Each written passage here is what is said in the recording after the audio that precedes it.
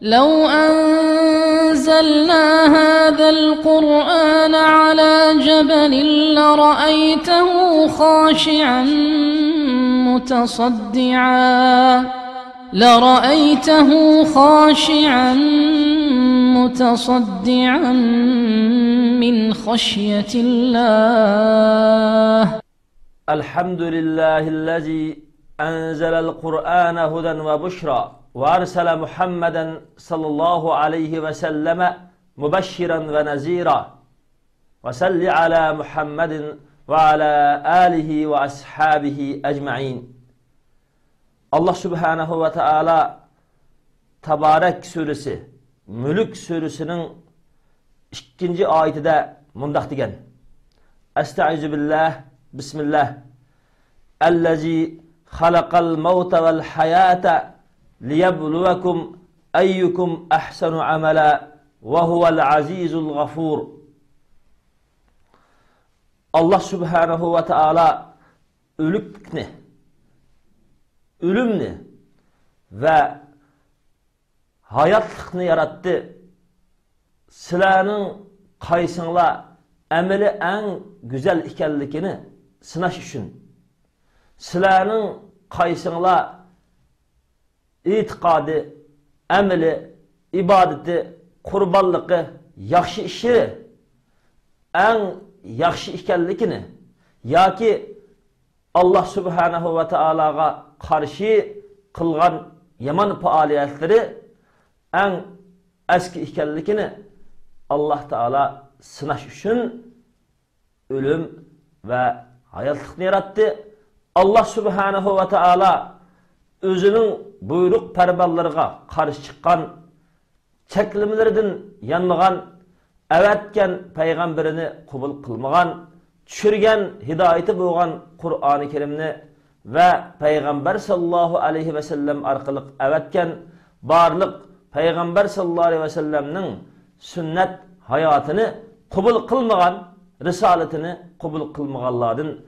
Bu dünyada mı oxiratdimi intiqom olishga g'olib o'ziga ishinib avatgan alsini qabul qilib tushirgan vahiysi qur'oni karimni e'tirof qilib alloh taolo boshlagan yo'lga mustahkam turib hayotini o'zi uchun bir sinoq o'limmi uning uchun bir sinoq hayotidagi fursatni g'animat bilmasa o'lgandan keyingi yangi hayotlikda u manguliq baxtga jannatga yoki manguliq azob do'zaxga kiradi deb o'zininki yomon oqibatini ansirganlikdan alloh subhanahu va taologa haqiqiy sadoqatman bo'lib hayotlikni sinoq maydoni oxiratni natija oladigan baxtlik yoki baxtsizlik bo'ladigan bir haqiqiy meva oladigan joyda alloh subhanava taologa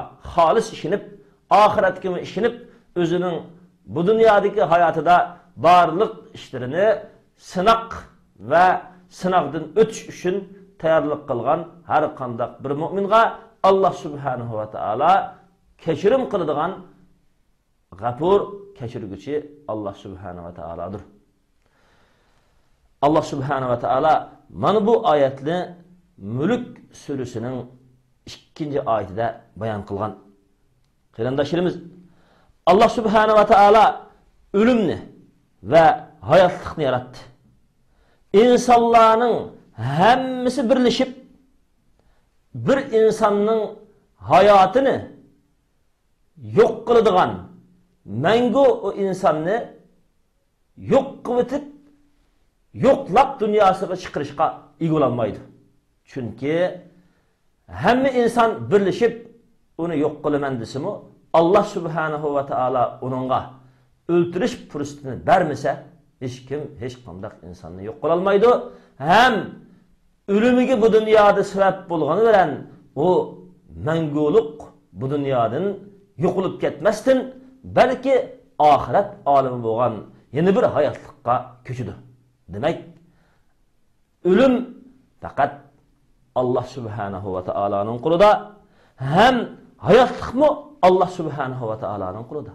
Butkul dunyo insonlari birlashib bir insonni yaxshi ko'rgan bo'lsa u insonga hayotlik berib uni yoki yangidan hayotlikqa erishtirolmaydi yoki hayotlik vaqtini uzartolmaydi ham shundoqla dunyo insonlarining hammasi birlashib uningga berilgan hayotlikni yo'q qilolmaydi yoki buzatolmaydi faqat alloh subhanahu va taoloning izni bilan alloh subhanahu va taolo bir insonni bergan hayotligini yo'q qilgan vaqtida andin u inson dunyodan allohning oldiga allohning o'ltirishi bilan keldi. Demak o'limmi alloh subhanahu va taoloning qo'lida hayotlikmi alloh subhanahu va taoloning qo'lida? Allah Subhanahu ve Teala bu ayetlerde ölümlü baldır sözler Allah ölümlü yarattı dedi. Onun için hayatlıkını yarattı dedi. Birincisi insanını Allah Subhanahu ve Teala yokluktan berpa kıldı. İkincisi insan hazır hayat yaşavatıdır insonga bundan keyin keladigan fojia, bundan keyin keladigan musibat o'lim.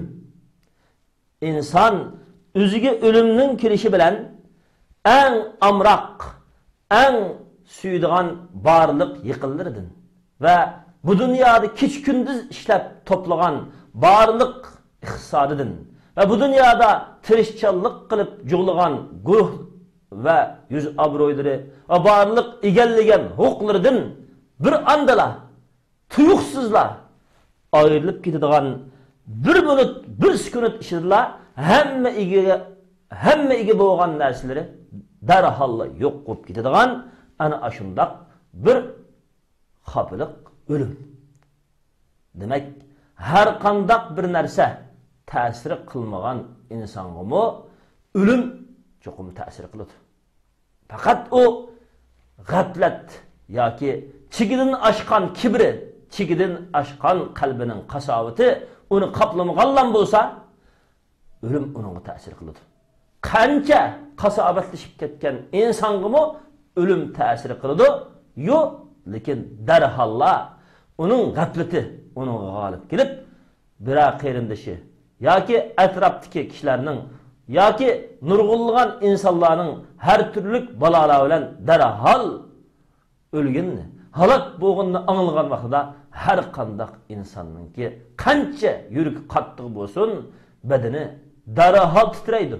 Lekin alloh taolo qur'oni karim degandek astag'billah kalla bal rana ala qulubihim ma kanu yaksibun. Rastulloh ularning qilgan jinoyati tufayli yuraklari qattiqlashib ketdi. Yuraklariga dod bisib ketdi dedi. Demak shunda qattiq ta'sirli o'limmi ularga jinoyatga pitib ketganlikdan ta'sir qilmaydigan bo'lib qoldi dedi. Demak qarindoshlarimiz alloh subhanahu va taolo dunyo insonlarini va borliq musulmonlarni ulug'i berilgan hayotlikni g'animat bilsin deb alloh subhanahu va taolo o'limni alohida ibrat qilib yaratganligini so'zladi demak bu o'lim insonlarning alloh subhanahu va taologa eng suyimlik bo'lgan ibrohim alayhissalom nuh alayhissalom ayso alayhissalom payg'ambarlarningmi eng ulug' bo'lgan muhammad alayhissalotu vassalomdek alloh taologa eng suyimlik payg'ambarlarnimi alloh subhanahu va taolo o'zi yaxshi ko'rib turib bu dunyodan erib ketgan. Alloh taoloning ularni yaxshi ko'rganligi ularning alloh taoloni yaxshi ko'rganligi bu dunyoda mangu qoldirishga sabab bo'lmagan.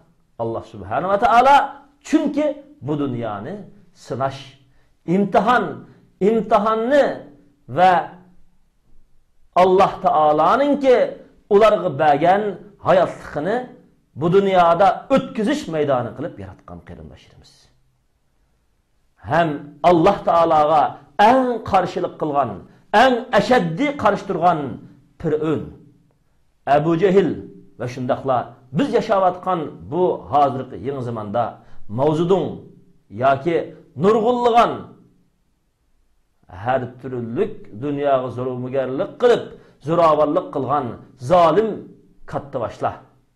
Gitlerge okşaş. Tücü hiliki okşaş.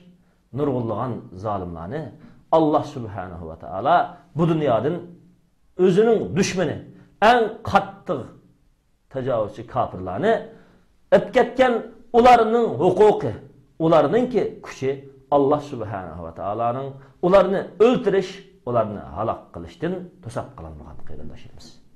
Demek biz bu yuqarqı ayətdən şunu bilişimiz ki, ölüm haqqdır. Heç qandaq adam ölümdən qutulub qalalmaydı. Hər qandaq can ölümündə deydi. Lakin ən mühimi Allah Subhanahu və Taala Qur'an-ı Kerim deyəndək kullu nefsin bima kasabet rahina. Hər qandaq can özü qılğan yaxşı etiqad, yaxşı əməlgə bağlıq.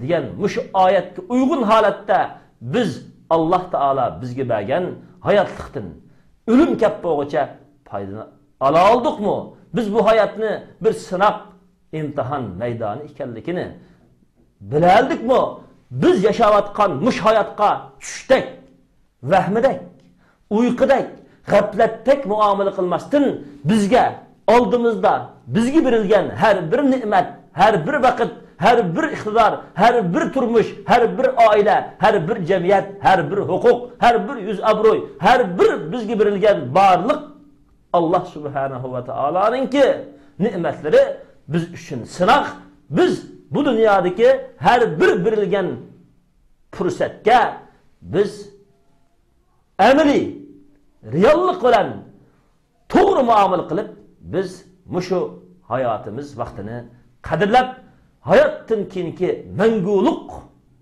hayat ahiret üçün Allah'ını razı kılgıdak yaxşı işlerini kala aldık mı digenlikke özümüzni daim agahlandırışımız ve emniyettin ahiret üçün tayarlık kılışka tirişçallık kılışımız lazım kılışımız. Demek mana bu ayet bizni evvelen Allah Subhanahu ve Teala ölümni yaratganligini hayotni yaratganligini hayotdan tinkin yana bir o'lim kelib uningdan keyin manguliq bir hayotning bizni kutib turdiganligini u manguliq hayot bizning oldimizga kelgan vaqtida biz yoki manguliq nijotlikqa erishib alloh subhanahu va taolo bizga tayyorlagan manguliq jannatga kirdiganligimiz yoki manguliq baxtsiz bo'ladigan insonlar alloh subhanahu va taoloning chaqiriqini qabul qilmay manguliq do'zaxga uchraydigan manguliq baxtsizlikka duchor bo'ladigan ana shundoq bir oxirat kunisi manguliq hayot oldimizda borligini alloh subhanava taolo bizga ogohlantirdi qarindoshlarimiz demak inson dunyoga kelgan vaqtida har qandaq bir kichik o'smir dunyoga kelgan vaqtida uningga atrofdagi urug' tuqqanlari oilalari jamiyati xushal bo'ladi. Chunki hayotliq insonga berilgan alloh taoloning bir fursati. Har qandaq bir inson dunyodan ayrildi ekan uning atrofidagilar uning qayg'urdi chunki o'lim uning uchun bir Allah subhanahu ve taala aldığa barıdığan bir sınaq. Bu dünyadaki yaxşı əməllərini, Allahqa razı bulduğan işlerini qıladigan vaqtının ki ötken pürüstü qırnaşırmız. Şunun için biz ölümdün agah buluşumuz gerek. Her kandak bir dünyada yaşayan, her kandak bir insan, onunla ölüm kəgən hamallam, o hayatlıqdaki barlıq öpmüşük karta püşeyman kılıp. Allah Subhanahu ve Teala Kur'an-ı Kerim'de ki Estaizu billah يَقُولُ يَا لَيْتَنِي قَدَّمْتُ لِحَيَاتِي Sürü Fecri 24. ayet. Deydi ki e, arzu ki men menin kiriçek hayatım boğan ahiretlikim üçün yaxşı əməllərini təqdim qılğan bolsam ekan deydi.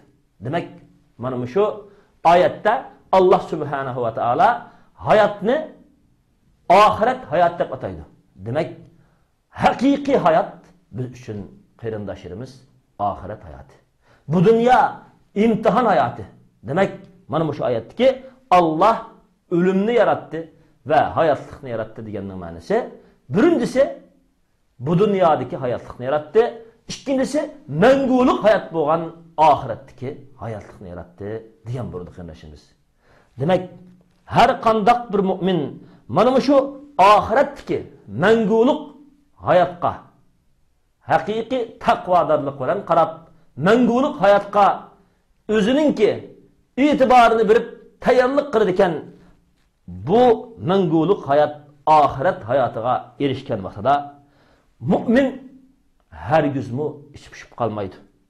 U dunyoning tarchiligi. Zolim kofirlarning fitnaxo'larning ozdirg'uchi inson va jinning shaytonlarining har turli siqishidan oxiratning kangro ne'matiga erishadi. Chunki alloh subhanahu va taolo qur'oni karimda vujuhu yawma izin nodira ila robbiha nozira bir muncha alloh taologa haqiqiy xolis bo'lgan yuzlar bor. Bu yuzlar qiyomat kunisi parqirab ketadi. Xo'shal bo'lib ketadi.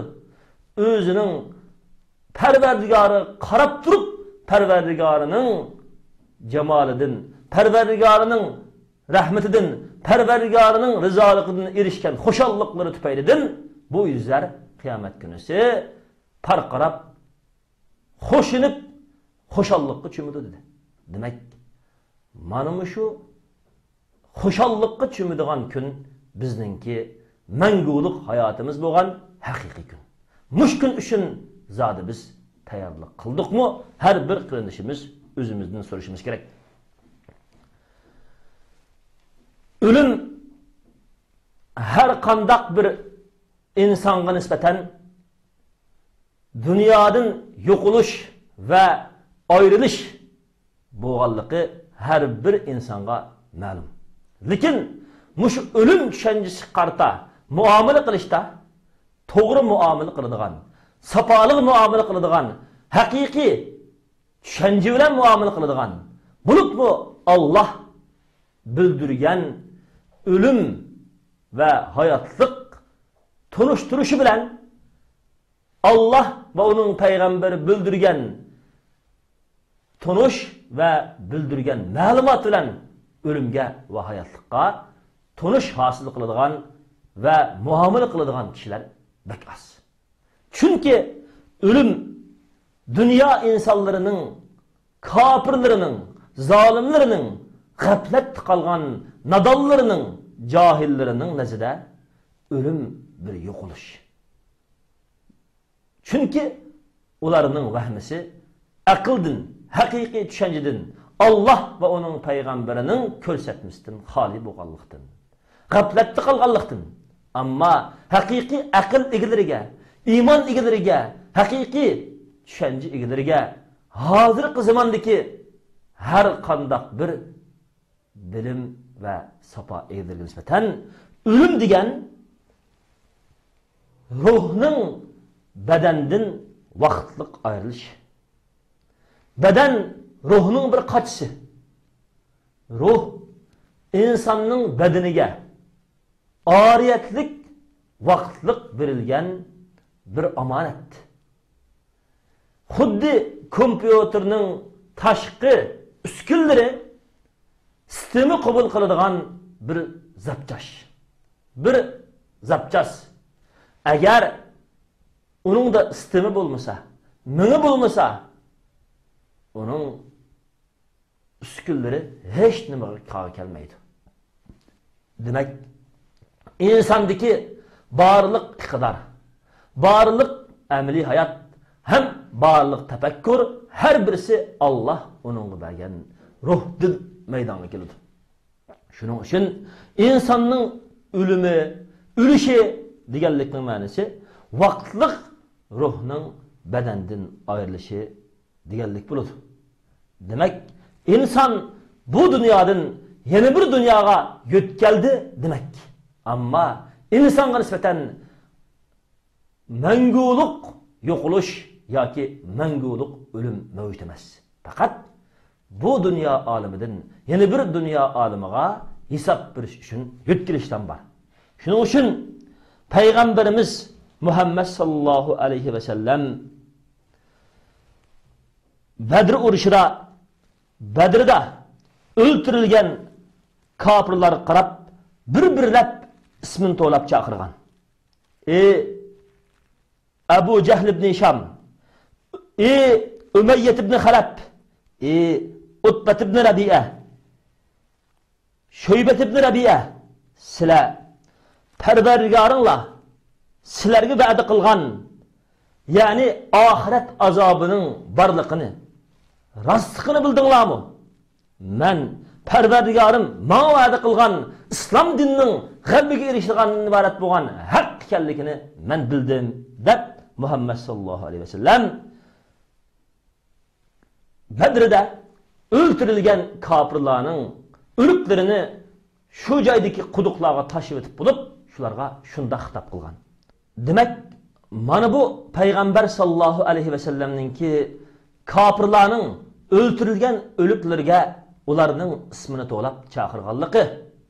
Alloh subhanahu va taoloning payg'ambar sallallohu alayhi vasallamga bergan islom dinining g'albiga erishganligini amaliy ko'zilan payg'ambar sallallohu alayhi vasallam rost ko'rganligini ularga so'zlaganligi ularning allohning azobi bo'lgan uli dunyoda ishonmagan oxirat azobiga ularning yo'liqqanligi va so'roqqa ularning yo'liqqanligini muhammad sallallohu alayhi vasallam ularga so'zlaganligining o'zi ularning bu dunyodan ayrilgandan keyinmi ruhining borlig'ini faqat o'lim degan ruhning vaqtliq badandan ayrilish ekanligini mana shu hadis bizga uqtirib turdi. Ham alloh subhanahu va taolo she'rda to'g'riliq shundoq deganki astag'billah ولا تحسبن الذين قتلوا في سبيل الله أمواتا بل أحياء عند ربهم يرزقون سورة آل إمران 169 آيات Sizlar Allah subhanahu va taolo yo'lida shahid qilingan, o'ltirilgan mu'minlarni o'liklar deb gumon qilmanglar. Balki ular tiriklar bo'lib, yaratquchi Parvardigori Allohning oldida ular rizq beriladi dedi. Demak, bu oyatda mana bu Alloh uchun jonini, hayotini, borliqini Allohning payg'ambari Muhammad sallallohu alayhi vasallamga ergashib haq adolatni maydonga keltirish, zulmni yo'qotish, iymon nurini dunyoda yo'ritish uchun Alloh tushirgan diniy omonatni dunyo insonlarga va o'z jamiyati va qavmiga va yashayotgan har bir muhitiga yetkazish va islom nurini chechish uchun joni hayotini shahid qilgan mana shu shahidlarning har birisini alloh subhanava taolo o'lik emas balki ular tirik deganlikning o'zi. Demak inson o'lgandan keyin haqiqiy hayotga erishadi. Haqiqiy hayot oxirat hayoti ekanligini mana shu yuqorqi hadis va oyatlar bizga bildirish bilan birga alloh subhanahu va taolo muhammad sallallohu alayhi vasallamdek o'zining payg'ambari bo'lgan allohning risolatini haq adolatini ko'targan har qandoq bir ixlosman musulmonlar jamoatiga ixlosman allohning qo'shuniga alloh subhanava taolo ana ashu abu jahl va uning qo'shinlari ustidan g'alba va nusrat bergandek chuqum ularga nusrat berdiganligini ham uqtirdi. Shuning uchun biz uyg'ur musulmonlari hozirgi mushu davrida xitoy kommunistlarining ko'ranglab yig'onchilik qilib ketganliklaridan qat'iy ishimiz pushib tushkunlashmasdan balki haq adolat huquqlarimizda olloh bizga topshirgan islom dinimizni sharqi turkiston zaminida oshkori qilishga va shu zulmni ko'tarish va yo'qotishda alloh taoloning payg'ambari muhammad sallallohu alayhi vasallam va sahobalar ruhi o'xshash bizda orqamizga chekinmaydigan har qandaq bir olloh bergan kuch quvvatni olloh uchun ishitish hattoki shahid bo'lishdimi borliqimizni qurbon berib ahiret hayatını bu dünya hayatının yukur bildiğin aşındaq itiqat ve ruh bilen yaxtırışçallık kılsak mana mı şu Muhammed sallallahu aleyhi ve sellem hakiki emriyette köz ölen köygen kapırlar üstüden kalbi kazangan şu kalbigimi biz erişimiz. İnşallah Allah subhanahu ve taala'nın peygamberi aynı vakitte Ebu Cehil okşaş nurgulluğun kapırlarını Allah subhanahu ve taala'nın ki shu vaqtdagi qo'shuvni orqali halok qilib bularni quduqlarga tashlab bu dunyodalam ularning xorliqi butkul dunyo insonlari oldida oshkora bo'lgandek allohning dushmanlari xitoy kommunistlari va ularning barliq zolim tajovuzchi qo'shinlari allohning yordami kuch quvvatidan mana shu abu jahl qatorliq kofirlik ko'rgan kunni xorliqni bizning ko'z oldimizda va butun butun dunyo musulmonlarining va insonlarning ko'z oldida cho'qim mana shunda xorliqqa halok bo'lishga duchor bo'ldi qarindoshlarimiz. Ham duchor bo'ldiganligini mana shu payg'ambar sallallohu alayhi vasallamning hadisi va yuqoridagi oyat bizga alohida ogohlantirdi. Alloh subhanahu va taolo o'limni va hayotni yaratganligini biz yuqorida so'zlab o'tdik. Endi alloh taolo hikmatlik ish qiladigan bo'lg'achqa alloh taolo hakim bo'lg'achqa bizga o'limni berib bizni ham o'limdan keyin yangi bir mangulik hayotga yuzlantirib ham bu dunyodami vaqtliq sinoq imtihoni bo'lgan hayotlikni berib bikog'alar bizni bundoq hayotlikqa chiqarib qo'ygan emas.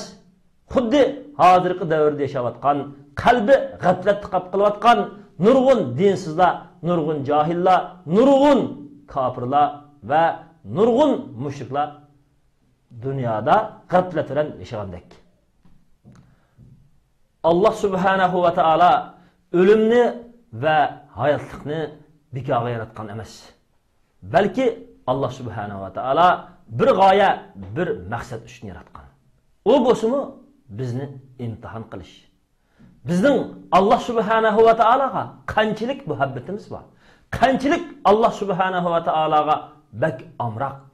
Alloh subhanahu va taolo bizga bergan ne'matni qanchalik tuyolaydigan shukrdor va qanchalik alloh subhanahu va taolo qarshi turgan alloh taolo bergan hayotlikni va bergan aqlni va fursatni alloh taoloni unutish alloh taologa tuzkurlik qilish alloh taologa urush achish alloh taologa qarshi turish alloh taologa ixlosmand bo'lgan mo'min musulmonlarning ziminlarini yurtlarini masjidlarini va ularga tushirilgan qimmatli kitob va qur'oni karim va uning nurlarini yo'qotishga qarshilik qilishga mutakabbirlik qilishga ziminda buzg'unchilik qilib tajovuzchilik qilishga olloh qarshi turishga qandoq insonlar jur'at qiladi olloh ne'mat berib turib shu ne'matga qandoq insonlar tuzkurlik qilib ollohni tonimaydi yo'g'onchilik qiladi inson va jinning shaytonlarini iblisni qandoqlari do'rib o'ziga iloh qilib shuning boshlagan yo'llarida minib alloh taolo ne'mat bergishini unutib ne'matga yoki shu ne'matni insonlar ko'zlarida iloh qilib cho'qinishga oldigan shaytonlarga cho'qinadi mushuni ayirib alloh subhanava taolo sinash uchun haqiqiy o'ziga yaxshi amal qilib alloh taoloni yuqori bilganlarni o'zining rahmatiga erishtirish uchun bu hayotlikni yaratganligini alloh subhanava taolo bayon qildi. Demak alloh subhanahu va taolo biz insonlarni bu dunyoda nima uchun yaratgan? Alloh subhanava taolo dediki alloh o'limni va hayotlikni sizlarni imtihon qilishni yaratdi. Demak bizning yer shariga mavjud bo'lib turishimiz bir har bir bizga berilgan yaxshilik yoki bizning qo'limizdagi iqtidor yo bizga kelgan bir xopiliq hammasi biz uchun bir imtihon bir ibtalo bir sinoq alloh subhanahu va taolo bizga berilgan hayotlikninki bekorga berilmasdan birdi bir g'oya va maqsad uchun berilganligini bayon qilib astag'billah allazi xalaqal mavta val hayata liyabluvakum ayyukum ahsanu amala dedi. Alloh subhanahu va taolo o'limni va hayotlikni yaratdi. Sizlarni imtihon qilish uchun qaysinglarning amali eng xolis eng go'zal ekanligini demak biz yer shariga kelgan har qandaq bir inson aqli o'shiga va o'zining haqiqiy odimiylik iqtidoriga kelgandan tortib uningga berilgan har bir hayotlik uning uchun imtihon va sinoq shuning uchun alloh subhanava taolo yana bir oyatda deydiki va in kunna lamubtalin sura mo'minun haqiqatan biz albatta sinildigan bo'ldik deb mo'minlar mana shu oyatda o'zining sinildiganligini demak alloh taoloning sinaydiganligi dunyodagi bir qonuniyat alloh subhanava taolo har birisimizni sinaydi Yine Allah Subhanahu ve Teala dedi ki: "Ehasiben nasu en yutraku en yekulu amennâ ve hum la yuftanun." Halayıkla, insanla güman kılamdı. Ular iman etti. Deplam taşlap koyulmaz.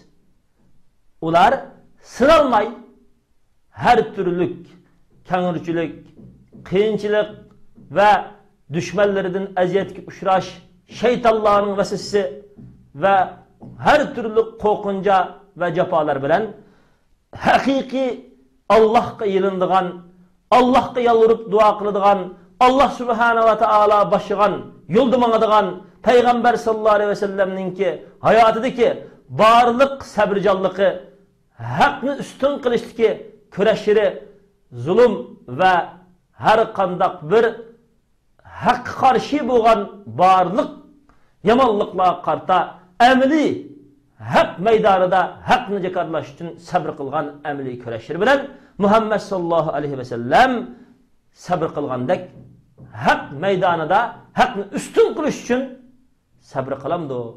Ya'ni haqni tashlab qo'yib o'zini sabrdor etib olgan emas haqni ustun qilish yo'lida kelgan aziyatlarga jafolarga mas'uliyatni usti kelib haq maydonida turib sabr qilamdi.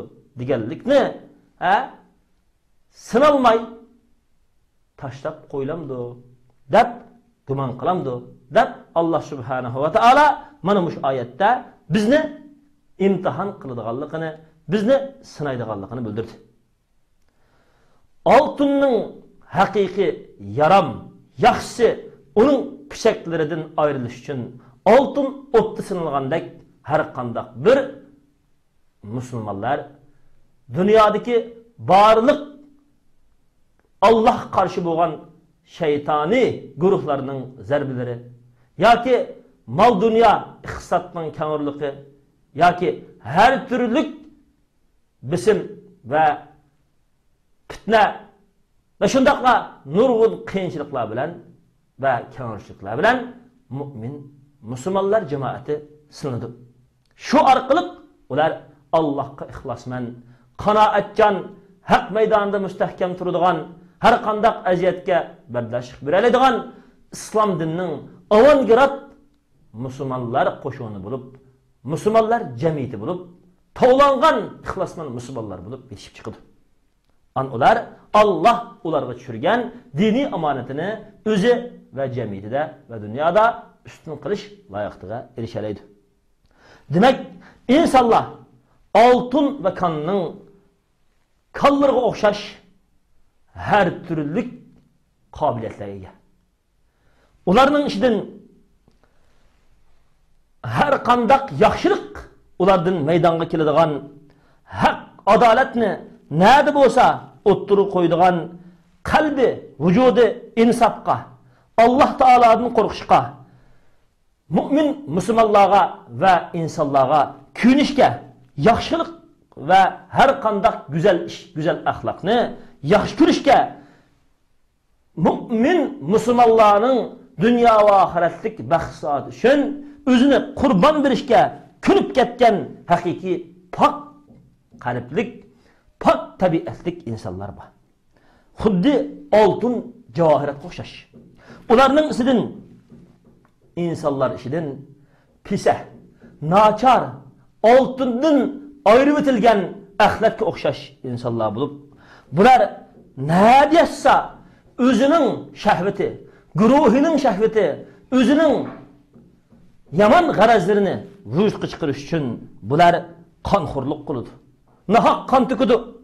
har kandak bir namrat ojizlar bo'lsa bo'zaq qiladi o'zining boyligi guruhining boyligi uchun nurg'un ojiz insonlarning yurtlari ziminlari huquqlariga tajovuz qiladi va yashagan har bir jamiyatida buzg'unchilik qiladi.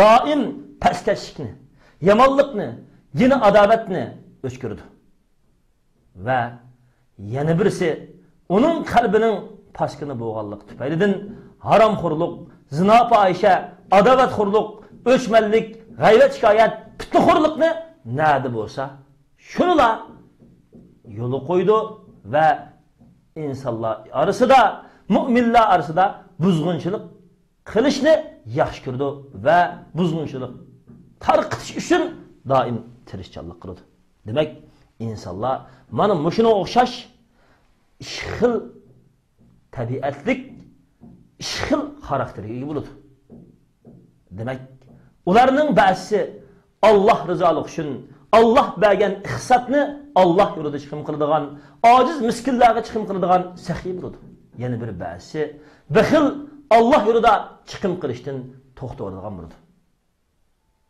mana buning amaliy ko'rinishi xitoy tajovuzchi kommunistlarga o'xshash o'zininki ma'lum guruhining ma'lum tajovuzchi zolim qo'shunining manfaati shahvati zo'ravonligini yo'l qo'yish uchun har qandoq bir dunyo hayotidagi barliq insonlarning hayotiga jamiyatiga bo'libmi bizdek sharqi turkistonlik musulmonlarninki hattoki o'zining xalqininkimi hayotiga ziyon soladigan ularning huquqlariga tajovuz qiladigan ularning manfaatlarini yo'q qiladigan barliq zo'mgarliklarni qiladi chunki uning qalbi xasis. ularının kalbi naçar, ularının kalbi ezeldillah paskına. Şuna hoşun kırındaşırımız biz özümüzün hayatını mana Allah üçün özünü atağan ihlasmen Peygamber aleyhisselam ve sahabelerinin hayatı oxşaş. Ve şundakla hak adaletini dünyada yol koyuvatkan hakkaniyetçi Müslümanların pak kalibleri oxşaş pak kalip bilen özümüzü bizemdik. Yoki shahvoniyat moddiy manfaat buzg'unchilikqa to'shab ketib har qandoq bir yerida yomonlik va tajovuzchilik gunoh masiyat maydonni o'ziga o'rin qilib tanlaydigan va gunoh masiyat tajovuzchilikni tarqatadigan ana shundoq zolimlarni biz o'zimizga ulgu qilib shularni do'ramdik biz o'zimizningki haqiqiy meydanını hakiki muş dünyadaki hak taraftar boğan meydanımızını ayrılışımız gerek. Yine bu Allah Subhanahu ve Teala ölümünü ve hayatlıkını silahını sınaş için yarattı diyen ayette acayip boğan bir hikmet bağ bulup insan nimi üçün yaratıldı? imtihan sınav için yaratıldı. İmtihan sınavda nimiş için yaratıldı?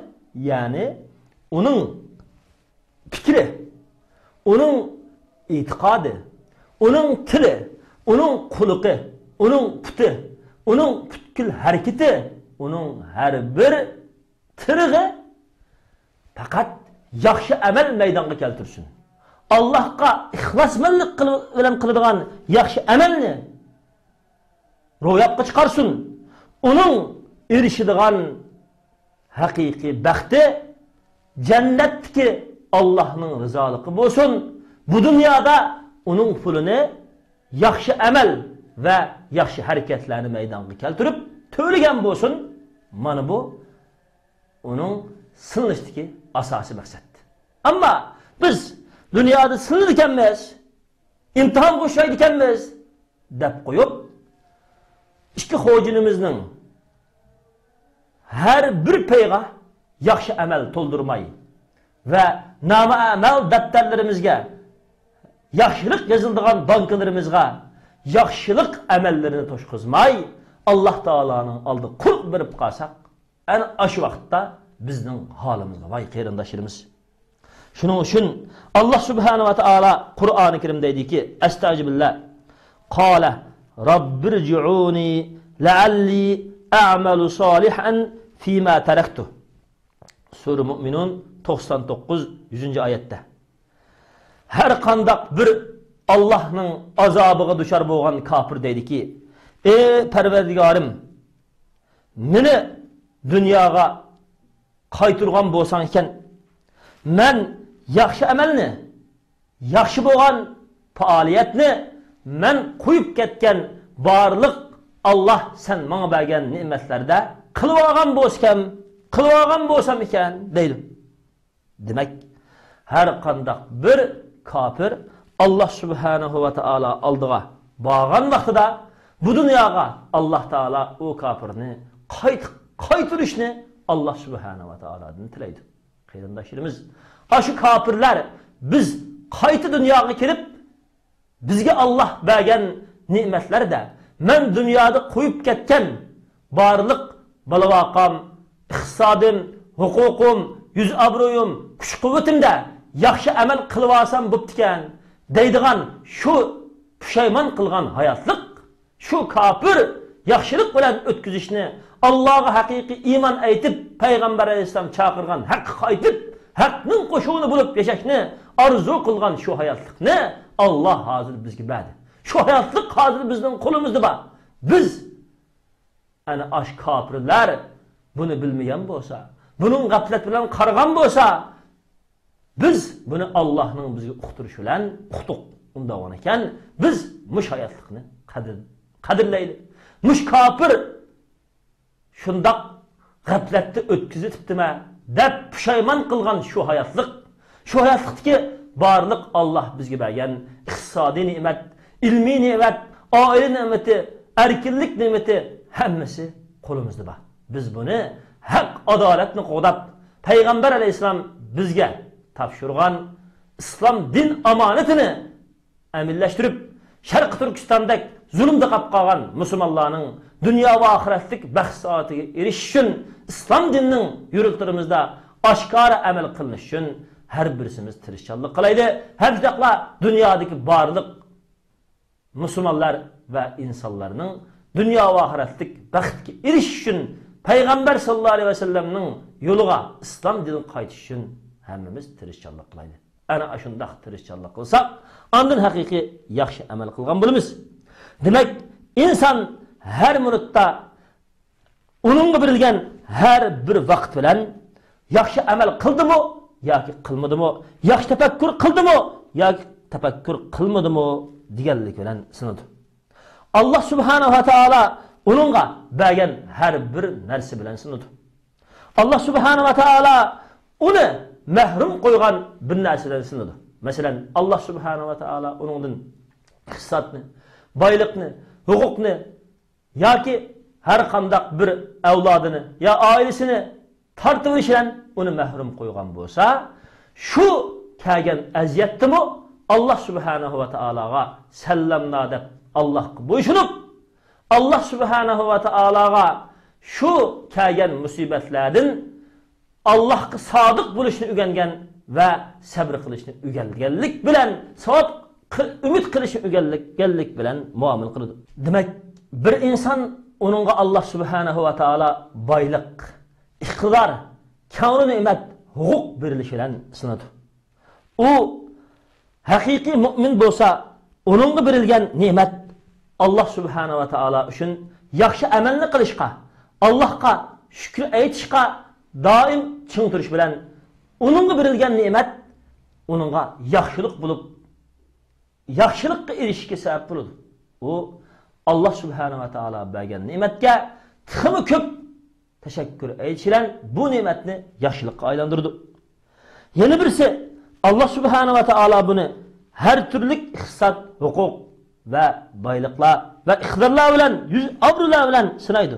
U shu birilgan ne'matlar bilan allohga tuzkurlik qiladi. Umrni beko o'tkazadi.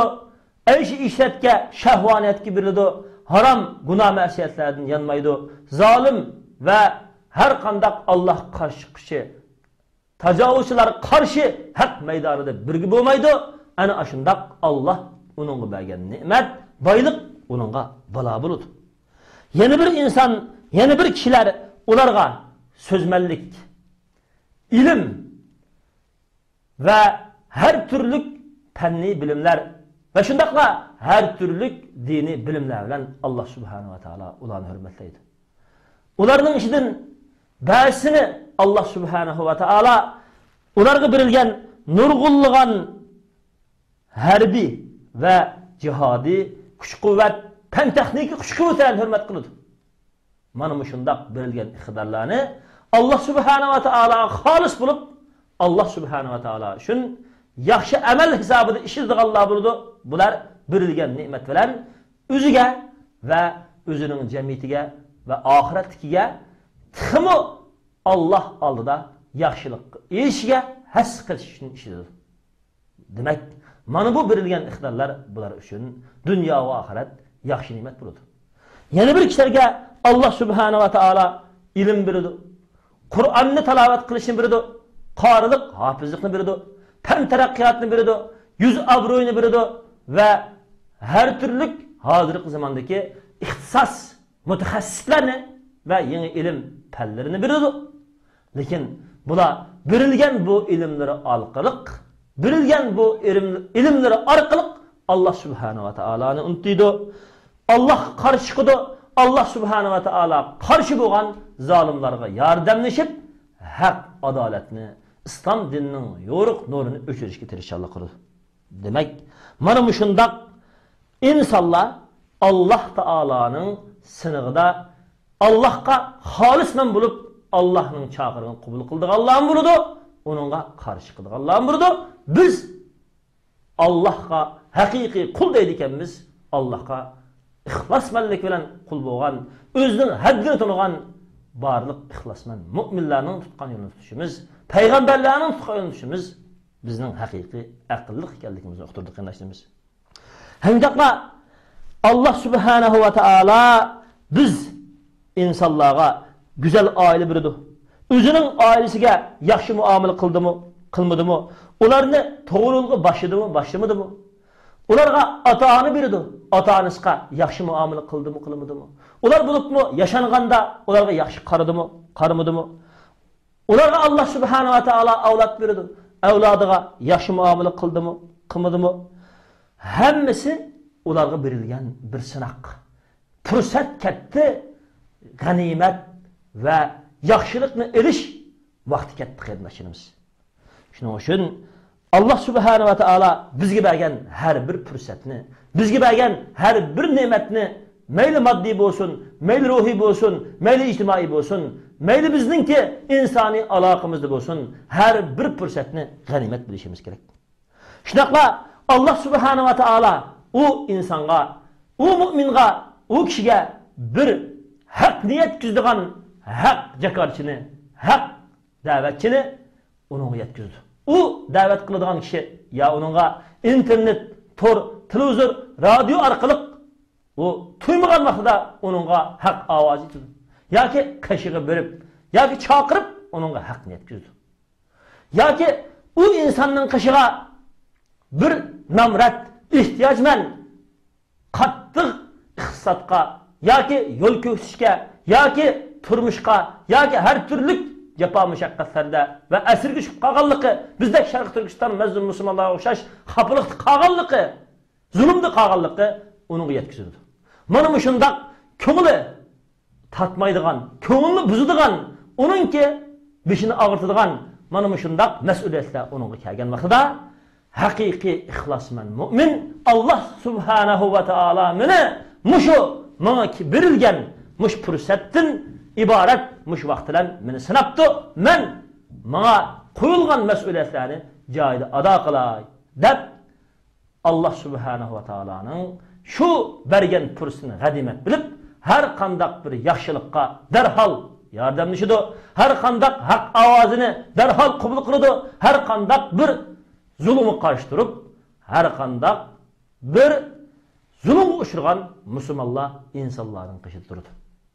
Demək, mana shundoq haq maydonida mustahkam turish ularni alloh subhanava taoloninki dunyo va oxirat baxt soatiga erishtirdi qarindoshlarimiz alloh subhanava taolo liyabluvakum ayyukum ahsanu amala dedi.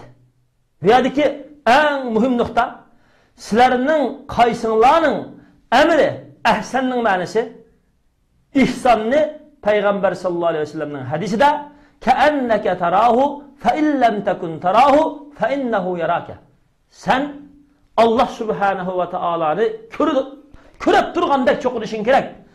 Sen Allah Subhanahu ve Taala'nı kömüsamı Allah Subhanahu ve Taala'sını körüp durdu diyen.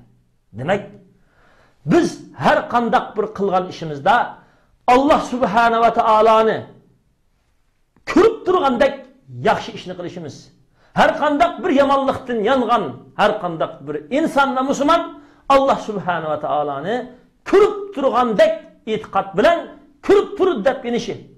Hammadan bek alloh taolodan qo'rqib yaxshi amal qilishi alloh taolodan qo'rqib yomonlikdan yanish kerak. Ham shundoqla alloh subhanahu va taolo bizningki har qandaq bir amalimizda qaysimizning En Allah Subhanahu ve Teala alıda. Bek sadık Allah'a bek muhabbetimiz var. Allah'a bek kurbanlık belgimiz var. Allah'a bek sevimi işkimiz var. Allah Subhanahu ve Teala'ya bek güzel, yakşılık bilen bilip durup, haklı turup işkimiz bağlıkını sınav. Şimdi Allah Teala yaratkan. Bunun karşısında insanlarını kim bək Allah Taala qarşı çıxqanlığını həm biliş üçünmü Allah Subhanahu Taala yaratqan. Bu doğruluq Allah Subhanahu va Taala Qur'oni-Kerimdə şundaq deganki: "Estaizu billah summa lananzi'anna min kulli shi'atin ayyuhum ashaddu alar-rahman itiya." Sure Meryem 69-ayet. Kıyamet günüsü mehşergah ceza meydanıdır ki cezalaş günüsü andin albatta biz totib açıkımız. har kandak bir jamoat guruh, millat ishidan ularning Rahman taologa eng qattiq qarshilik qilg'in eng qattiq qarshi chiqib Rahman taolo qarshi jang e'lon qilgan o'zining haddini ishib ketgan mutakabbirlik qilgan zolim her kandak bir zomigerini kıyamet kunisi biz en burun bularını cezalaş bularga ularning cezası var bularının cinayetiga ularni jinoyatiga jazo berish uchun biz tortib chiqamiz dedi qarindoshlarimiz. Alloh subhanahu va taolo bizning qaysimiz allohga eng sodiq yaxshi amal qilish va eng sodiq yaxshi qalbli bo'lish va eng sodiq alloh subhanahu va taolo uchun yaxshi qurbonlik berishda yaxshi bo'lishimizni olloh bizni sinagandek qaysimizning qaysi insonlarning alloh taologa eng qarshi ekanligini eng alloh taologa qarshi kibrda tajovuzchilikda zulmda qarshi turganligini alloh taolo sinash uchun bizni yaratgan qarindoshimiz shuning uchun xitoy kommunist tajovuzchilari barliq zolim tajovuzchi kofirlar har bir tajovuzchilarning har bir alloh qarshi chiqishlarinki qilayotgan zulmini alloh subhanava taolo sinash uchun yaratgan ham bularning eng qattiq zolimiga alloh subhanava taolo eng qattiq azob berish uchun bularni sinab o'tdi qarindoshimiz alloh subhanava taoloning azobi bak qattiq shuning uchun har bir musulmonlarimiz qiyomat kunisi Manımı şundak Allah karşı zulüm da Allah karşı meydanda durup en kattık Allah karşı kişi zalim boğan hıtta ikamını sirdek zalim kapırlarının yeni de bulup kılış. Ya ki bularının kuşunu kuvvetlep kılış. Ya ki bularının bayrak asıda bularga yardımda bulup kılıştın kat'i sakınıp haq maydoni bo'lgan payg'ambar sallallohu alayhi vasallamning bayroq tarafiga islom din bayroq tarafiga haq adolat bayroq tarafiga hammamiz qaytib kelishimiz hammamiz jannatning manguliq baxtiga erishimiz lozim. Alloh subhanava taolo mana shu oyatninki oxirisida muhim bo'lgan bir xotim bilan tugatdiki alloh subhanahu va taolo dediki astaizu billah va huval azizul g'afur. Alloh subhanahu va taolo azizdir ya'ni alloh subhanahu va taologa qarshi chiqqan olloh avatgan payg'ambarlikni qabul qilmagan alloh subhanava taolo tushirgan islom hidoyatiga qarshi chiqqan ana shu xitoy kommunistlarga o'xshash haq hidoyat va islom dinining barliq taraflarini va islom dinining da'vatchilarini ulamo ustozlarini va islom diniga cho'qingan adolat egilari bo'lgan musulmonlarni xorlagan shundoq kishilardan intiqom olishga g'olib bo'lgan alloh subhanava taolo azizdir alloh subhanava taolo g'afurdir alloh subhanava taolo g'afurdir kechirim qilishdirki o'ziga pushaymon qilib qaytib kelgan haqni qabul qilganlarni alloh subhanava taolo kechirim qildi alloh subhanava taolo deyki va inni lag'affarun liman taba va amana va amila solihan summatada haqiqatan man albatta kechiryapman tövbe qilgan iymon aytgan yaxshi amal qilgan kishilarni. Andin allohning hidoyati bilan hidoyatda turgan islom hidoyatini qabul qilgan kishilarni kechirim qilaman. Qat'iy hamma gunohini kechirim qilib dedi. G'affar dedi. Demak alloh subhanava taologa yirinib pushaymon qilgan har qandaq bir insonni har qandaq bir musulmonni alloh subhanava taolo kechirim qildi. Va salli ala muhammadin va ala alihi va ashabihi ajmain.